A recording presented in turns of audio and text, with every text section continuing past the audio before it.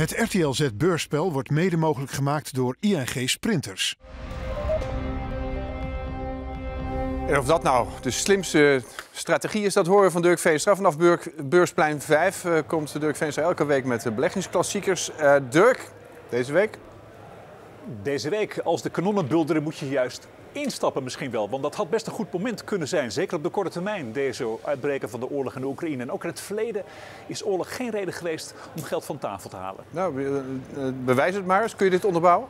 Ja, nou, er zijn natuurlijk heel veel onderzoeken geweest de laatste tijd. Want beleggers zijn natuurlijk onzeker als ze zijn. Eh, steeds op zoek naar bevestiging van hun keuzes. Nou, heel veel onderzoeken hebben aangetoond dat inderdaad in het verleden alle geopolitieke oorzaken geen reden was om geld van tafel te halen. Sterker nog, je weet, ja, zeker, zeker gaat het in het begin snel naar beneden beleggers schrikken ook, net als gewone mensen, van zo'n geopolitiek uh, feit.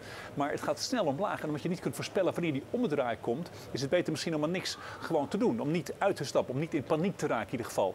In het verleden inderdaad is het ook zo geweest. Zelfs het uitbreken van de Tweede Wereldoorlog, Roland, was geen goede reden om uit te stappen. Ja, het zorgde even voor op korte termijn voor een behoorlijke val van de markt.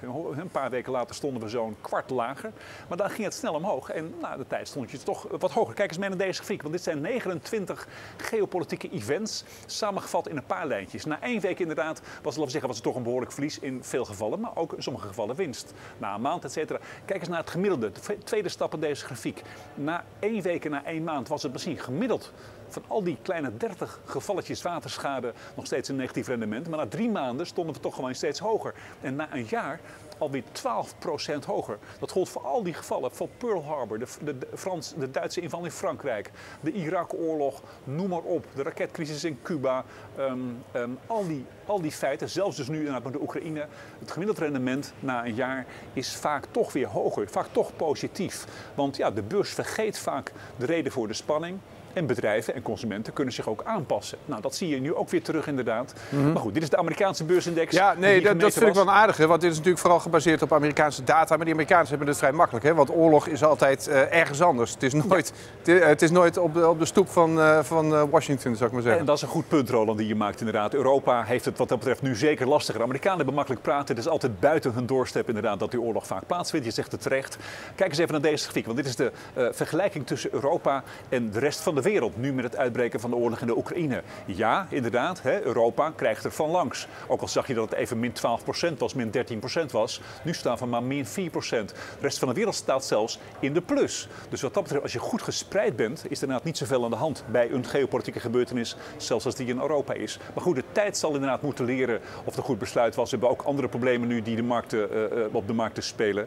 Maar een oorlog, een geopolitiek event, is geen reden om je van je beleggingsdoelen af te houden. Dat is het punt wat ik vandaag wil maken. Nou, dat, dat is helder. Uh, als je nu even losknipt van alle andere zaken die de beurzen bezighouden, hè, uh, de rente, het gedrag van centrale banken, de inflatie, uh, je kijkt alleen naar de effecten van die oorlog, mm -hmm. dan kun je best wel stellen dat dat ook de Europese economie best wel onevenredig hard raakt. Omdat het vooral via de energieprijzen, via de handelssancties veel schade gaat veroorzaken. En uiteindelijk ook bij het vertrouwen van de consument terechtkomt. Ja, zeker. Daar heb je absoluut gelijk aan. Dat gebeurt al. Dat zie je ook gebeuren inderdaad. Hè. Vandaar dat die Europese beurzen dus ook lager staan. Maar het verlies valt dus nog wel mee. En nogmaals, ik kan niet genoeg onderstrepen. Er is aanpassingsvermogen. Dat is er gewoon bij consumenten en bij bedrijven. Dus bedrijven zullen in staat zijn andere energiebronnen te vinden. Om mijn of dat moeten we met elkaar gaan vinden. Of we moeten gewoon minder energie gaan gebruiken. En dat betekent dat de schade van zo'n event op termijn steeds minder gaat worden. En sterker nog, ook een omslaan in kansen en dus in winst voor beleggers. Dus laat je niet van je pad afbrengen. Blijf gewoon beleggen, zou je kunnen zeggen. Wees voorzichtig natuurlijk altijd en wees goed gespreid. Maar nogmaals, geopolitieke uh, uh, gebeurtenissen zijn van voorbijgaande aard.